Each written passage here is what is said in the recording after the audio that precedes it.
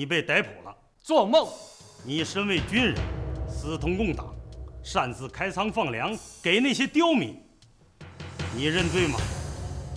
没错，这的确是我干的。那好啊，现在就请你委屈一下，跟我们走一趟吧。去哪儿啊？宪兵队。我要是不走呢？不可能了，你真是欺人太甚了。黄营长，不要肝火太旺了。我知道你是一个孝子，你们家在高尚平也是个大家族，你就不怕总裁一指令下将你们黄家满门抄斩，灭九族吗？不许动！你要干什么？老子反了！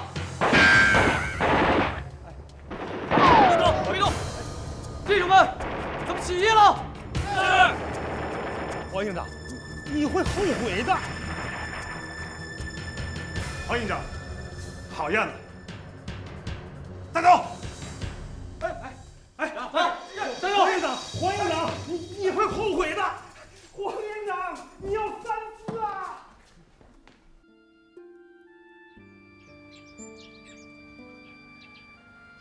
天亮了。解放了，离村十年还是混得一无所有的令喜才，突然回来了。叔，他知道现在该穷人当家做主了，也是他报仇出气的好机会。而且他还知道，像他这样一个一贫如洗的人，只要表现积极，肯定能够得到土改工作队的信任。只要土改工作队信任他。就离自己梦寐以求的目标不远了。这个目标，就是他十年以来念念不忘的秋红。哎，叔啊，那个秋红还在吗？在呀。啊，干干什么？要不是为了他，我还不会这么早回来呢。怎么？你心里还没放下他？人秋红早就嫁儿嫁人了。啊？她又嫁给谁了？黄元上啊，这个我知道，但是我还知道那个黄元上自从当了兵之后，已经这么多年都杳无音讯了。叔啊，现在世道变了，该轮到我们当家做主说了算了。几年没见，你学会吹牛了。我还告诉你，这秋红啊，还真是个有情有义的人。他不见到袁尚回来，他不会死心的。我会让他忘了黄元上的。哎，你可得给我安分一点啊！别一回来就惹是生非啊！这怎么能叫惹是生非呢？咱们令家安分，都安分了几十年了，有没有过过几天像样的好日子？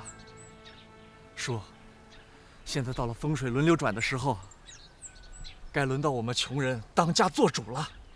哎呦，瞧把你美的！咱穷人要什么天下不天下呀？只要有酒喝，有肉吃，那就是咱的福分，是吧？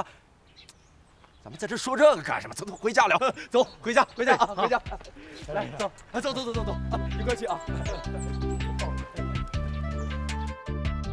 王延武的起义对咱们解放德龙镇起到了非常积极的作用，但毕竟他在国民党的队伍里待了那么长的时间，所以我觉得继续让他做营长有点不大合适，起码现在不合适。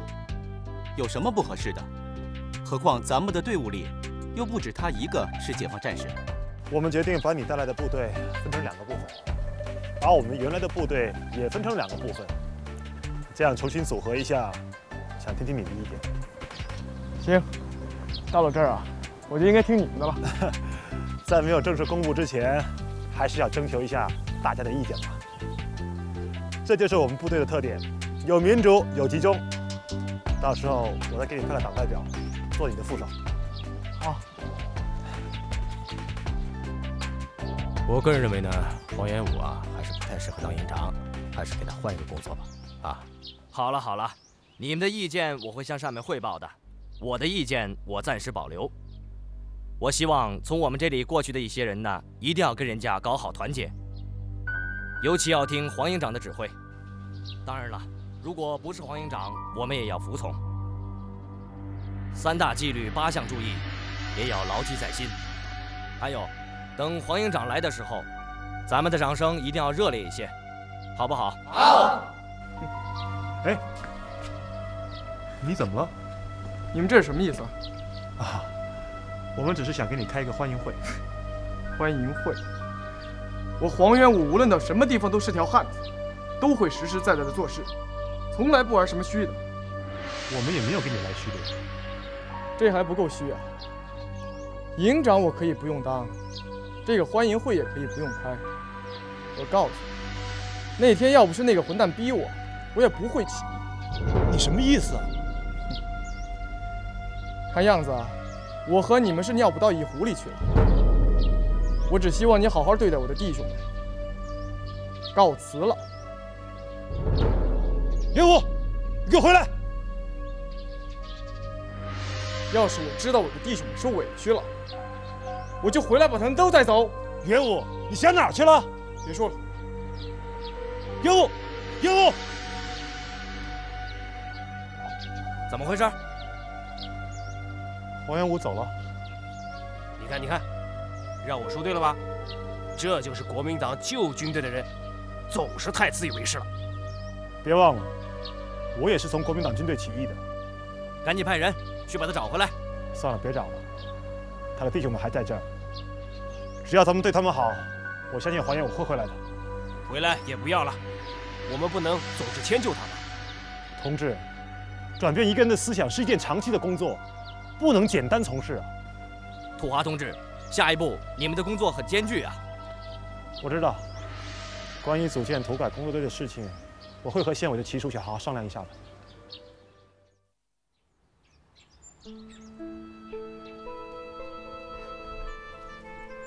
秋红，你好吗？走，走走。秋红，我知道你现在还是孤身一人，我们俩，我，我，我们农会需要你这样苦大仇深的基本群众。狗狗，记住我说的话，现在解放了，我们都翻身做主了，以后不会再受苦了。就会有好日子过了，啊！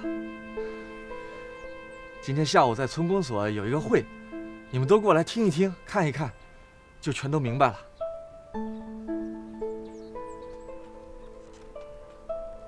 秋红，我知道你的心里还一直在等着那个黄元胜，我劝你啊，还是死了这条心吧。就算他还活着，他也是反动派的匪兵。是政府现在镇压的对象，你千万不要引火烧身。那个黄家的人，值得你念想着。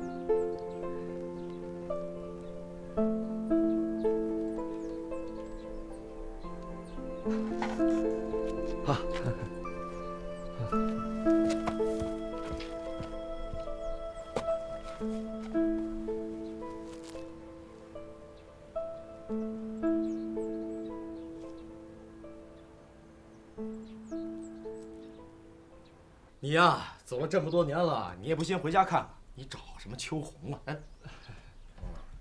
谁叫我这么喜欢她呢？我总感觉我跟她好像是有缘分呢。你你你们能有什么缘分啊？人家现在是皇家的媳妇儿。可是那个黄岩上已经这么多年都杳无音讯了，活不见人，死不见尸的。而且我还知道。秋红已经被皇家赶出家门了。你这都听谁说的？哎，还真是这好事不出门，坏事传传千里啊！我跟你说，叔，现在解放了，那个皇家的人不会有什么好结果的。秋红就应该早点跟皇家断绝关系，免得日后受到牵连。哎，我可告诉你啊，秋红可不是一般的人物。这方圆几百里就没几个人不不知道他的。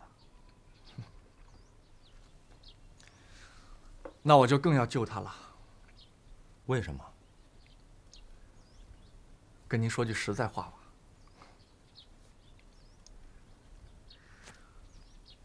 我现在已经是组织上的人了。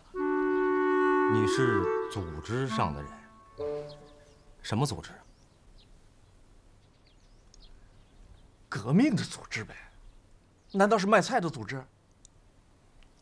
我早就参加革命了。我这次回来也是带着革命任务回来的。过几天呢，上头还要派一个土改工作队下来。范队长让我先回来，发展这里的基本群众，准备搞土地革命。革命？对呀，你革革谁的命？当然是革皇家跟秦家的啦。哎哎哎！我告诉你，这事儿你可不能发展秋红啊！秋红和秦黄两家都有着不同一般的关系，你这么做不是不是让他为难吗？不对不对，我的看法跟你不一样啊。我觉得秋红挺合适的。第一，秋红在高尚平是个外姓人；第二，这么多年以来呀，秋红吃了不少的苦，她一定很恨那些有钱的人。有了深仇大恨，才能和地主老财做斗争。这么多年没见你，我怎么都认不出你来了？哎，叔，你的政治思想觉悟比较低下呀。我比较低下？这想当初打日本鬼子的时候，我敢闯龙潭，敢过虎穴，我一个人拼了命就把鬼子引到了高尚坪。那时候你你跑哪去了？你说说我低下？怎么老打人脑袋呢？叔，太没水平了！少少少少少少来！你看你这样，提了个半拉烧火棍，你生气什么？跑来教训我？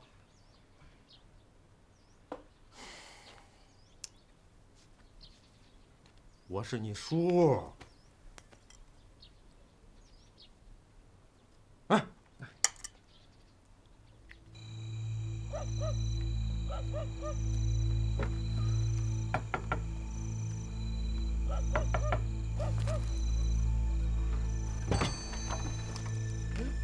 元武，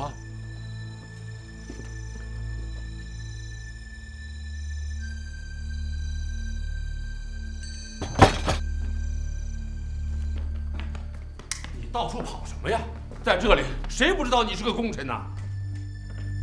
可是我怎么都没想到，我的部队交到秦土华的手里了。秦土华，就是秦家老二，人家现在是解放军的营长啊。我记得当初你们一起参加的国军呢，人家早就起义了。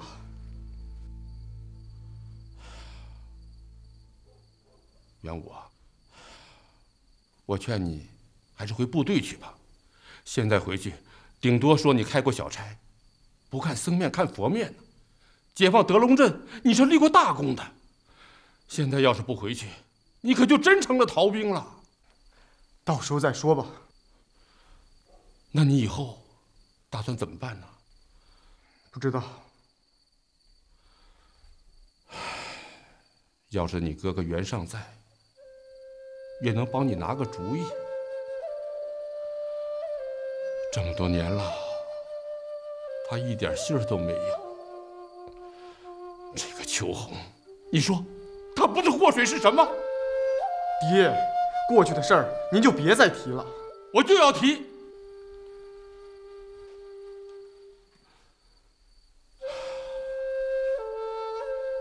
爹当时也是没有办法呀，袁尚，不能私下和外来的插秧女私定终身，这是祖上定下的规矩。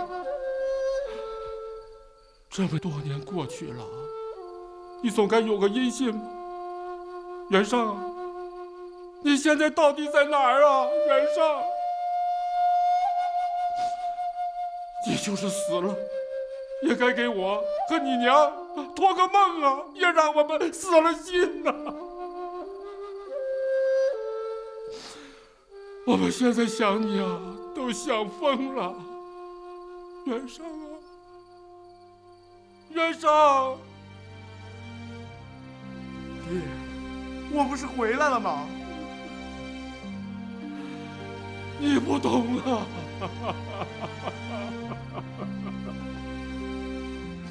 我的儿子！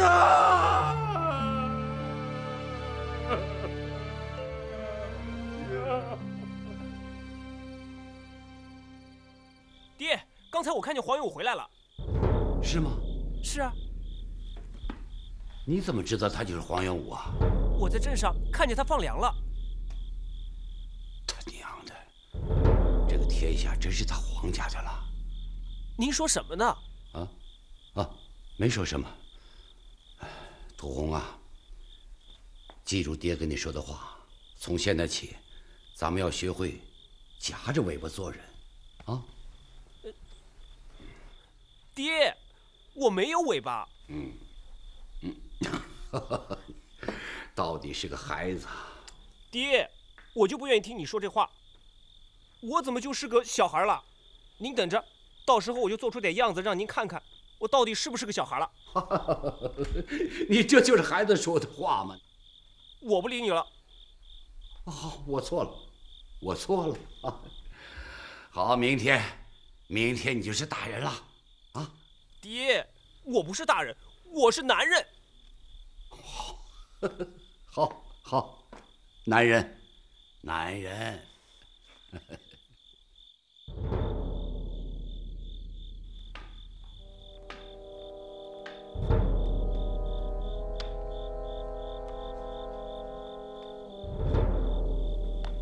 黄元五回来了，正好。多烧死一个是一个，满门绝户才好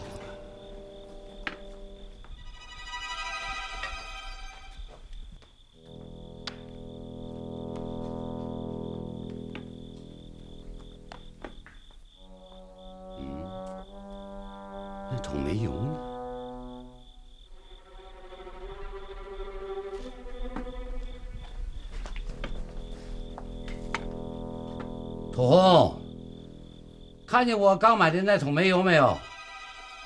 土红，土红，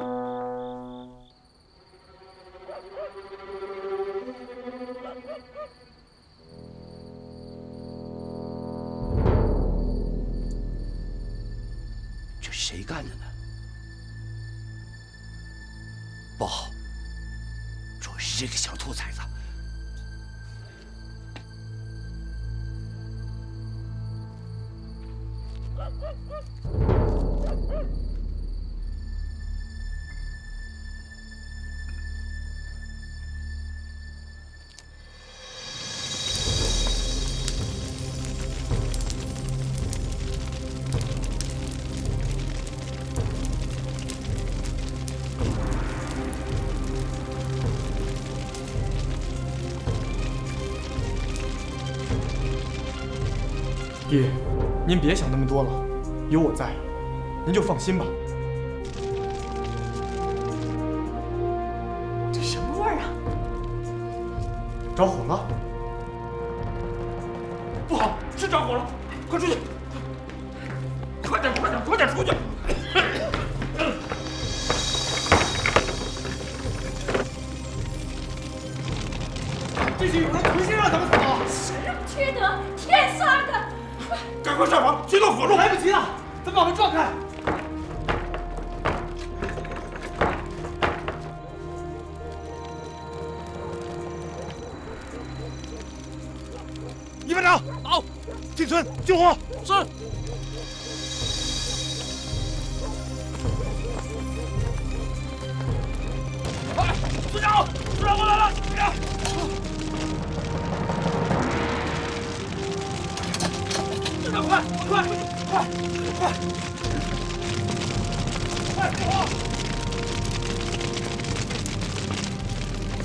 快！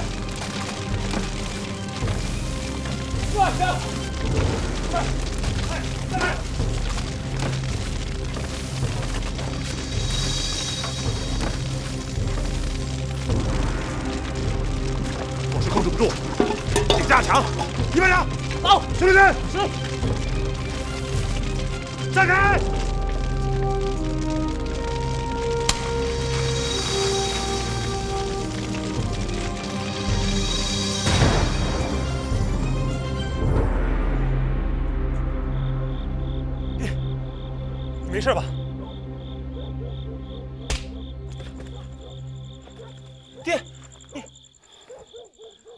真是能多管闲事啊！这是他们皇家作孽，才有这个报应。你怎么能帮着袁家做事情？解放军就是为劳动人民做事的。放屁！他们家算什么劳动人民？爹，现在解放了，您的脑子能不能变一下？你说错了，不是我脑子应该变一变，是咱们家的地位该变一变了。你回来了，咱们秦家应该出人头地了。你要想着给你兄弟谋个好的差事，要把秦皇两家世世代代的恩怨做一个了断，让皇家永世不得翻身。爹，报告营长，部队已经集合完毕，请营长指示。我知道了，让同志们原地休息吧。是。爹，现在解放了，大家都是平等的。您不要以为我当了官，咱们家就跟别人家不一样了。你这是哪家道理？咱们秦家跟别人家就是不一样，那以前不一样，以后也不一样。要不然，你就不是我儿子。爹，嗯，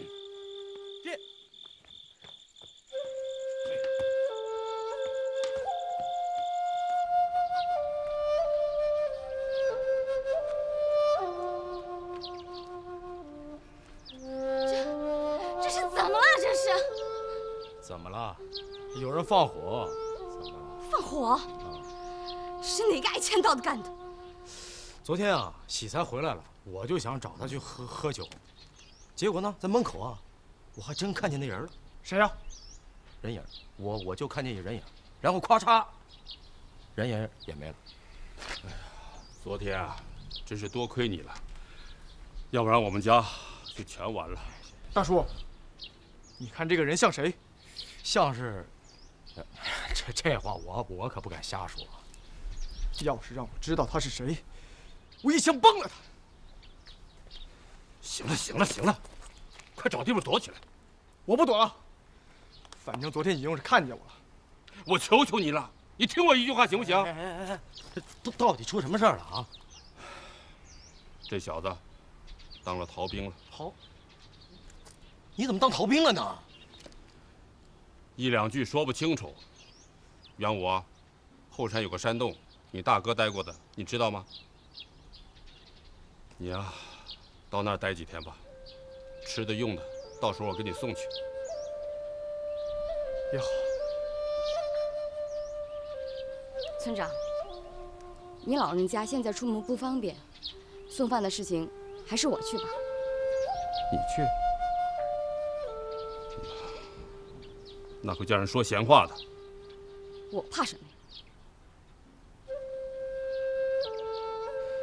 这得躲到什么时候？听说马上就开始剿匪了。能躲一天是一天了。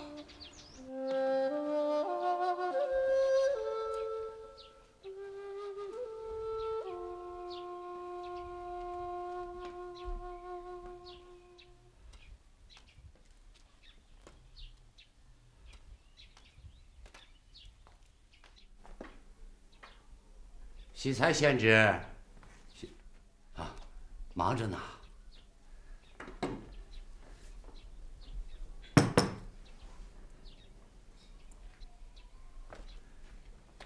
喜才贤侄啊，我知道你还记恨我。当年我买你那两亩秧子田，确实是我的错。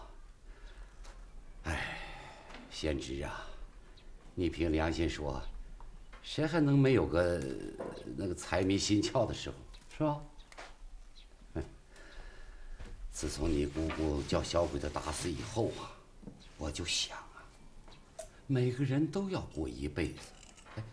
是叫人骂一辈子呢，还是叫人惦记一辈子呢？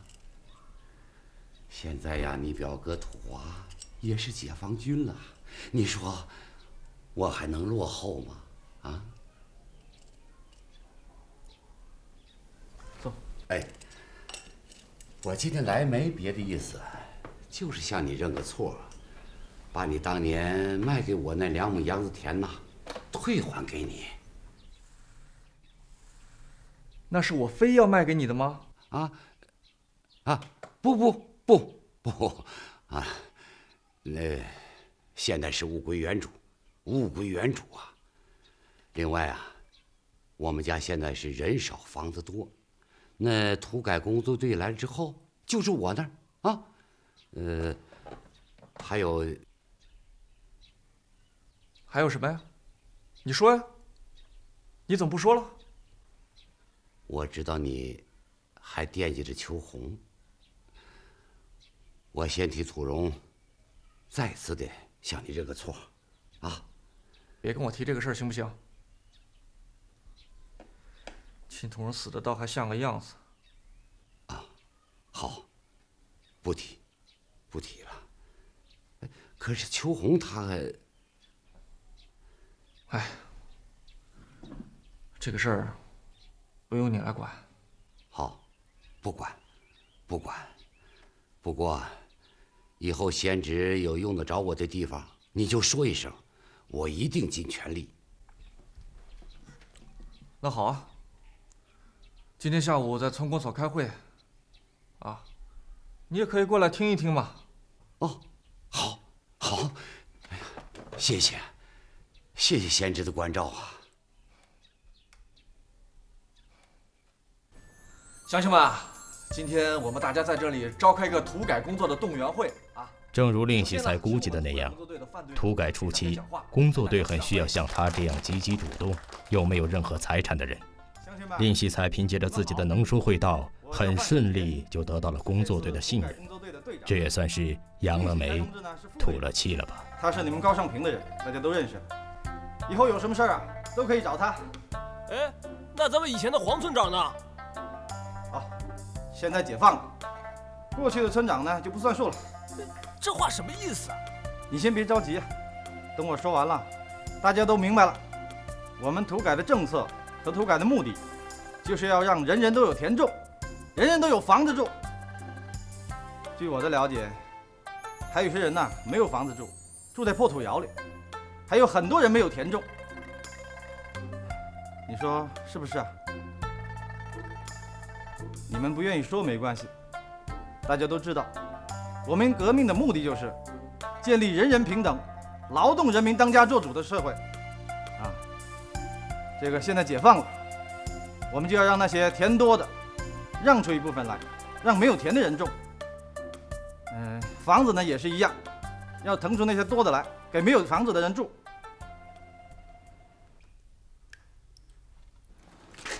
让我。吃点东西吧，啊！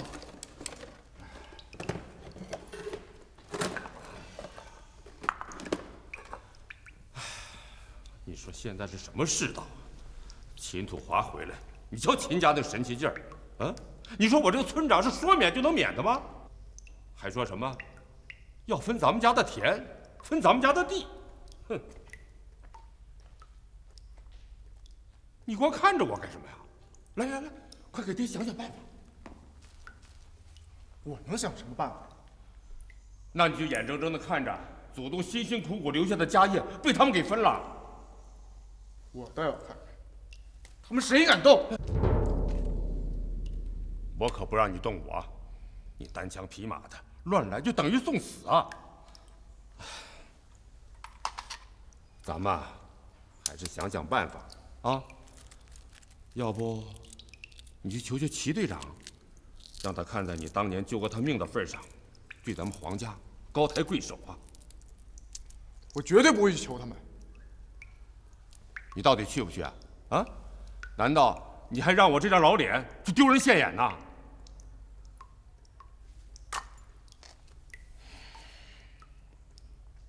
土红啊，以后你就跟你喜才大哥啊，哎，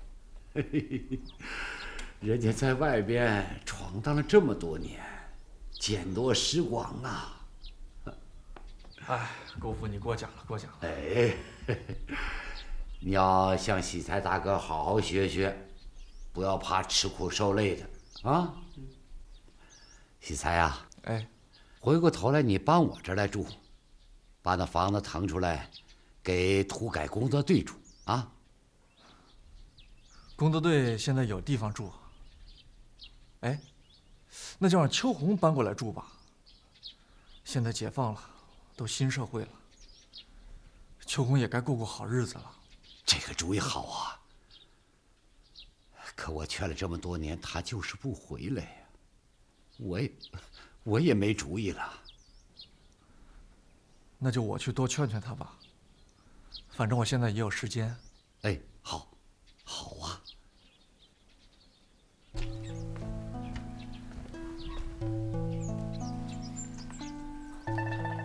范队长，你这是怎么了？难道我脸上长什么东西？嗯，不，你就是秋红吧？哎呀，你看看，这都解放了，你怎么还住在这个地方？这个地方挺好的。我看这不是你的心里话，我看得出来，你的心里啊，一定有着许多的委屈。现在呢，你不用怕，没关系，有我们，有政府给你做主，你有什么心里话就说出来吧。我没什么好说的。这一次土地革命啊，就是要革地主老财的命。要搞好这次土改，就需要你们这些苦大仇深的群众积极参加。我看你还是考虑考虑吧。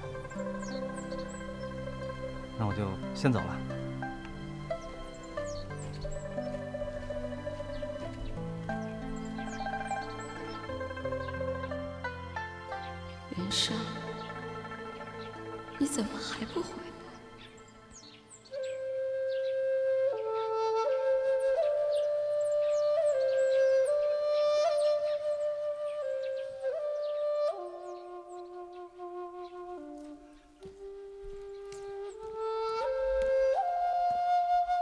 元武，哎，嫂子，你怎么来了？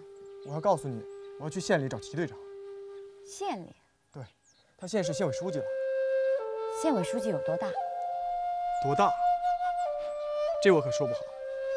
不过应该是县里最大的官了。哦，就是戏文里唱的父母官。嫂子，你问这个干嘛呀？我要他帮我找你哥黄元尚。没用，他帮不了你什么。到时候，我哥自然会回来的。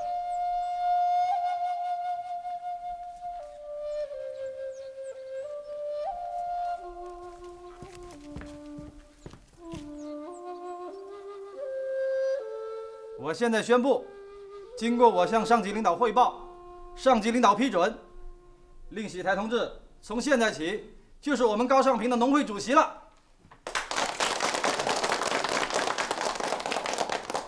这农会主席到底是什么官啊？他和村长到底谁大呀？我们共产党啊，不讲官大官小，谁能为人民服务啊，我们就用谁。哎呀！这可真是三十年河西，三十年河东。令家也有皇帝了。哎，可不敢这么说。姑父，哎，这是要犯错误的。哎，哎，实际情况吗？哎，实际情况就更不能随便说了。说实话，嗯，我还要感谢您呢。谢我？是啊，当初要不是您非要我把家里面唯一保命的这几亩秧子田卖给你，把我变成了个穷光蛋，那我今天也不会是贫农。哎，那我就当不成这农会主席呀，对不对，姑父？哪里哪里，还是贤侄你有本事，有本事。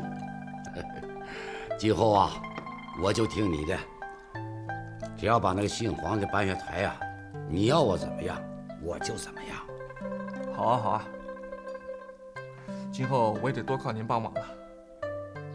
哎，姑父，我想起个事儿啊，你看我呢，至今还一直是单身。你说这大男人哪能老不成家的呀？是吧？看上谁了？您这不是明知故问吗？秋红呀，当初整个高尚平的人都知道，第一个选上他的人是我。哎，要不是秦土荣，还有黄元尚他们捣乱，我估计我跟秋红的孩子都有十个八个的。算你有眼光啊！我还真能帮得上你点什么。你？你不知道吧？我是秋红的亲爹。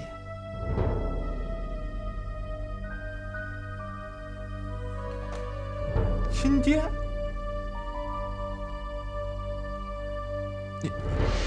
你是秋红的亲爹？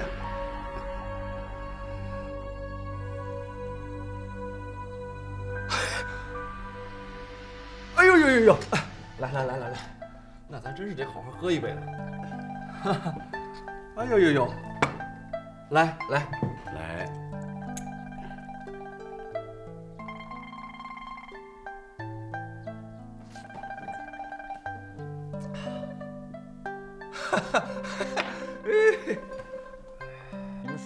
我都知道，干革命就是要克服困难嘛。哎，你们怎么这么拖拖拉拉的啊？都像你们这样，这土改怎么搞下去啊？不是我们没有做工作，是这里的老百姓还没有开窍。好像这里的老百姓啊，不知道什么叫剥削。不要光看到老百姓的不足，首先要想想自己的问题。李喜才，哎，你这两天的表现也不够好，你可是我们的基本依靠力量啊。我们这几天真的没闲着呀。我要的是结果，不想知道你们做事情的过程。上级跟我要成果，我就得跟你们要进度。首先呐，得把村民的成分摸底工作放在首位。这成分都搞不清楚，土改怎么搞啊？是，这个村民的成分摸底工作已经基本上完成了。哦，那你说具体点。就本村村民的成分摸底啊，已经基本上都摸清楚了，就剩下某些外来的打工妹。你看，像这个秋红啊，这有什么难的呢？找个人调查一下嘛。要不，给他的原籍发个调查函。他老家已经没有人了，整个村子都让日本鬼子给烧光了。哎，你的婶婶月月和他不是一个村的吗？先找月月了解一下吧。不要这么看着我，没有调查就没有发言权。不要以为我对村里的什么情况都不了解。你们呐，要完成好工作队交给你们的任务，划个成分不是什么难事儿嘛。有文件有标准在那摆着的，这成分一划清，分房分地的计划就都出来了。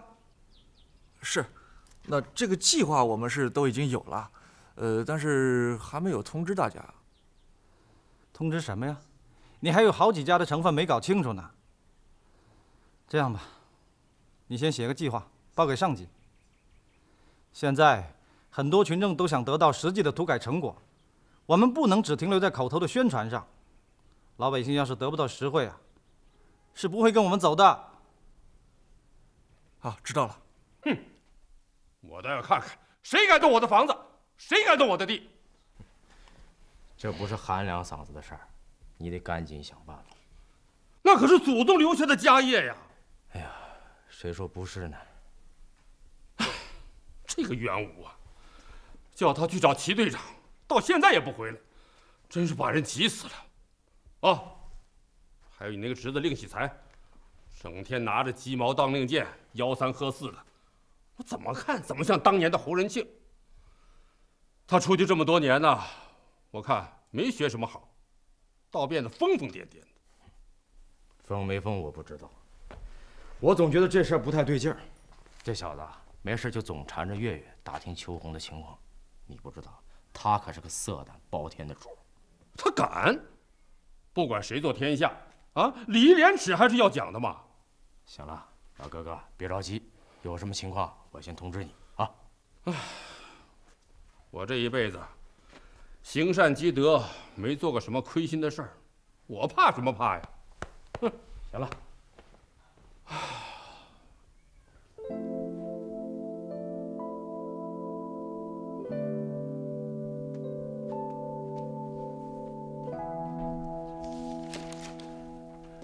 贤侄，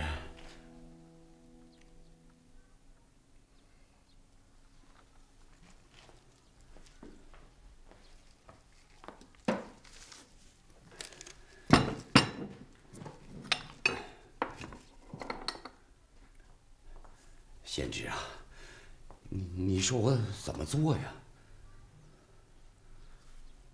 我早就点过您了，只要您根据我的要。那个我们的要求去做，你是不会吃亏的嘛？哎，我可以把我的房子让出一半但是你们要是分了我的地，那你说我怎么办？不是，我们不会把你的地全都分光的。你没听见那个范队长说过的话吗？我们工作的目的是要让大家全都有田种啊。嗯，这当中也包括你嘛。啊，那那你看能给我留多少？哎呀，这个留多留少是个问题呀。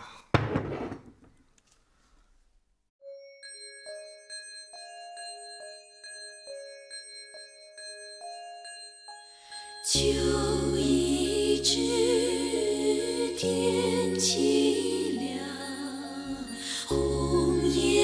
颜正南下。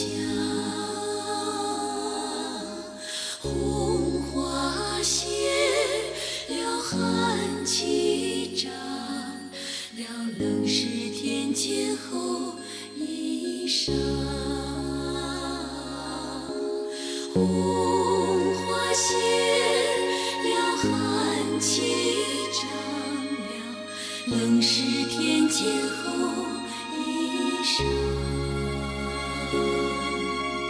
能是天间好一生